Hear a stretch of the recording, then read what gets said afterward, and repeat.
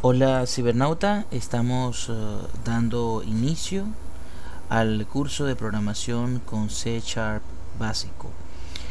Mi nombre es Javier Martínez, estamos dando inicio a otro de los cursos, a otro de los cursos que vas a poder seguir en www.video-tutoriales.net. Bien, como sabemos, el lenguaje C Sharp es eh, uno de los eh, lenguajes que componen la suite de Microsoft Visual Studio. En este caso, nosotros vamos a utilizar la versión de Visual Studio 2005 para propósitos del curso. Este curso es un curso básico, un curso donde te va a enseñar las herramientas necesarias para luego tomar nuestros cursos avanzados que tienen que ver con uh, C Sharp y SQL Server y ASP.NET con C Sharp. Bien, cibernauta, vamos entonces a comenzar a ver lo que es uh, el entorno de programación de Microsoft Visual Studio. Como te puedes dar cuenta, aquí tenemos eh, las uh, ventanas. Aquí tenemos las ventanas del cuadro de herramientas que van a aparecer a medida que creamos una aplicación. El explorador de servidores que va a aparecer también cuando estemos conectados a una base de datos.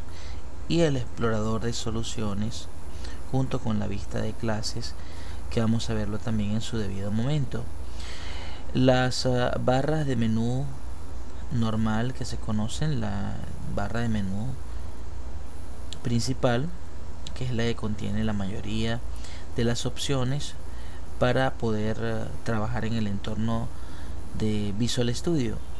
Y también las barras de herramientas que son eh, bastante útiles, son atajos para crear uh, procesos sin necesidad de ir a los menús.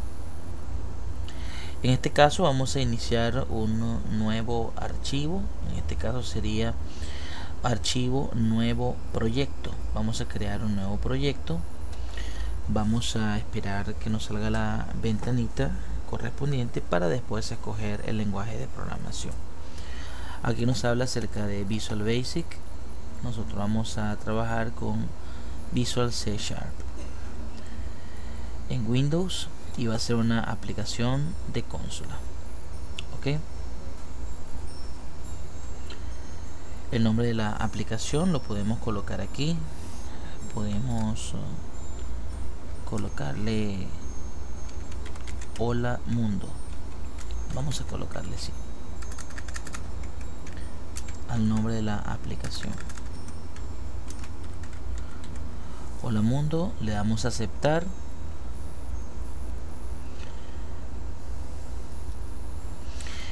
y él va a crear el proyecto necesario para realizar una aplicación de consola. Recuerde que una aplicación de consola es una aplicación tipo MS2, donde salía la ventanita de MS2. Vamos a analizar ahora acá un poco estas ventanas y el código que se ha generado. En primer lugar, podemos ver aquí en el lado derecho que el eh, mismo entorno de Visual Studio creó una clase que se llama program.cs que es la clase esta que ves acá la clase principal. Ok hay unas referencias y hay unas propiedades. El proyecto se llama hola mundo. Ok. En el lado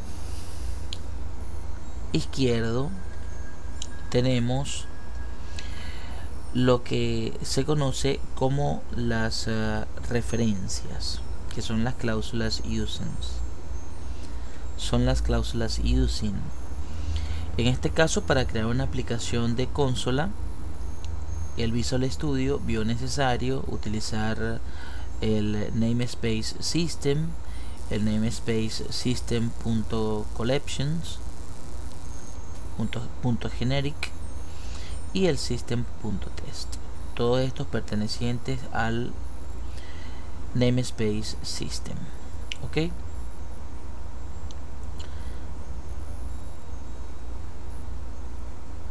ok. Como namespace uh, normal. Bien entonces eh, tenemos aquí el namespace que es eh, el espacio principal.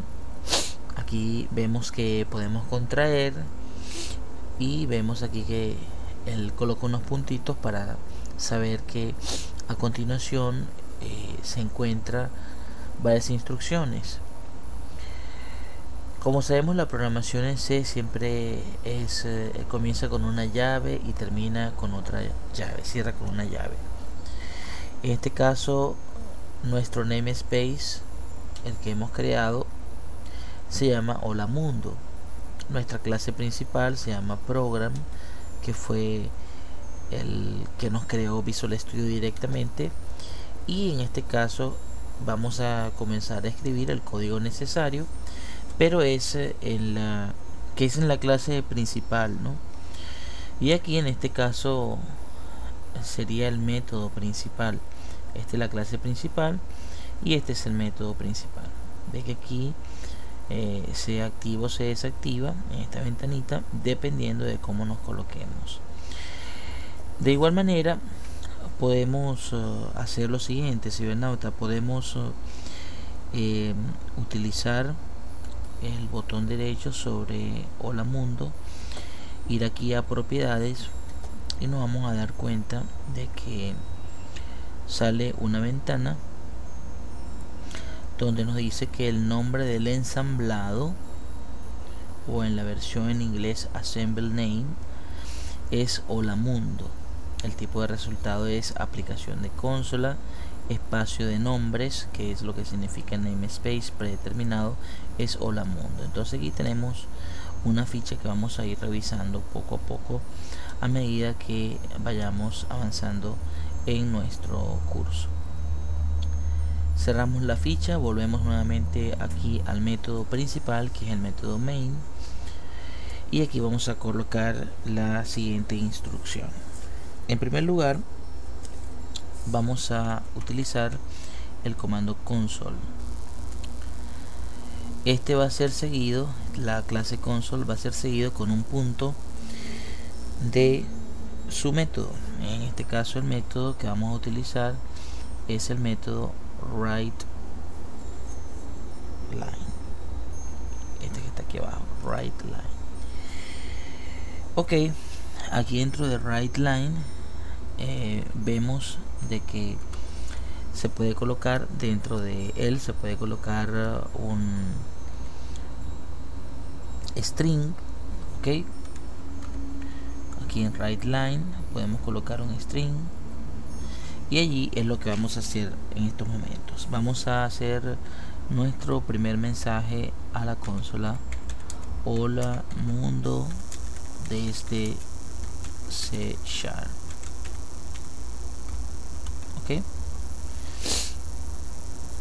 Terminamos siempre con un punto y coma. Muy bien vamos entonces a ejecutar. Eh, puedes darle aquí en iniciar la depuración.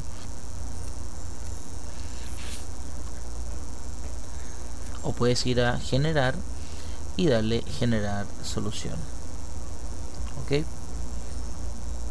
también puedes iniciar depuración con la tecla F5 entonces con cualquiera de las dos te sirve a utilizar la tecla F5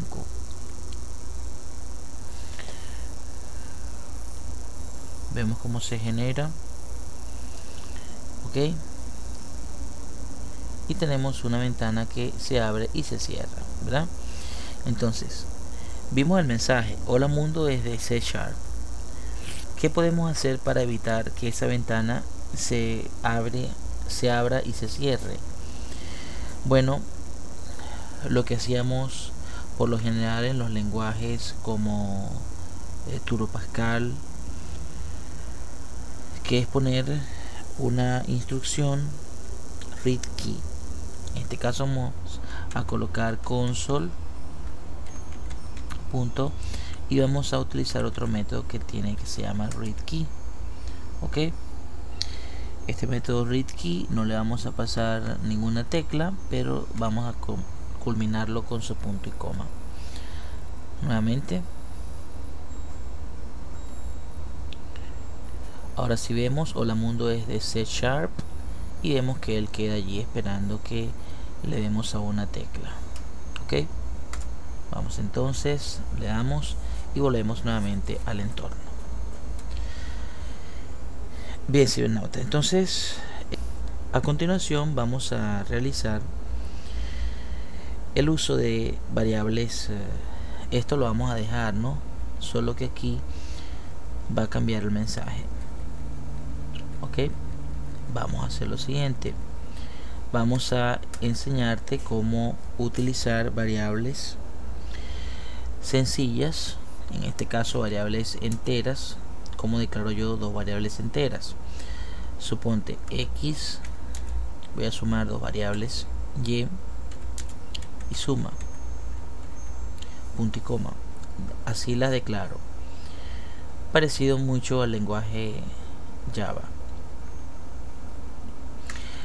muy bien eh, luego le doy los valores x igual 15 punto y coma y igual 20 punto y coma. Y luego colocamos suma igual a x más y entonces en el right line vamos a colocar lo siguiente. Como vamos a mostrar es un string entonces en el right line tenemos que colocar suma punto to string. Aquí lo colocamos no to string. Veamos entonces cómo se ve esto en la ventana de consola. Espero que no sea mayor complicación entender esto que está acá. Ok le damos en ejecutar. Ok tenemos entonces aquí un error. Ok vamos a colocarle aquí que no. Aquí dice tenemos un error aquí en el console.writeLine que aquí nos faltó colocar en el toString los dos. Eso es. Los dos uh, paréntesis. Suma toString paréntesis paréntesis. Volvemos nuevamente. Ok tenemos entonces la suma que es 35 ¿eh? entonces podemos incluso realizar en lo que tiene que ver con los números decimales. Cómo se trabaja con números decimales en C Sharp. Colocamos decimal dejamos las mismas X y Y pero en esta oportunidad vamos a colocarle 10.33 y la otra la Y va a ser igual a 19.75 ok entonces para que él lo pueda reconocer como un número decimal ok tenemos que hacer lo siguiente. Tenemos que colocarle una M mayúscula al final de cada cifra. Aquí una M mayúscula. Ahora le damos a ejecutar y veamos el resultado 30.08 ok exactamente 30.08 ese es el resultado que da. Perfecto. De esta manera cibernauta te puedes dar cuenta lo sencillo que es realizar una aplicación de consola en C Sharp. Hemos visto entonces cómo escribir una cadena cómo hacer que haya una pausa, que exista una pausa, que no se cierre el, la ventana de comandos de una vez con el read key. hemos visto cómo trabajar con cadenas, con string, cómo hemos visto el uso de hemos visto también el uso de los enteros y el uso de los números decimales. Entonces, guardamos esto, guardamos todo y nos veremos entonces cibernauta en el próximo video de C Sharp. Hasta pronto.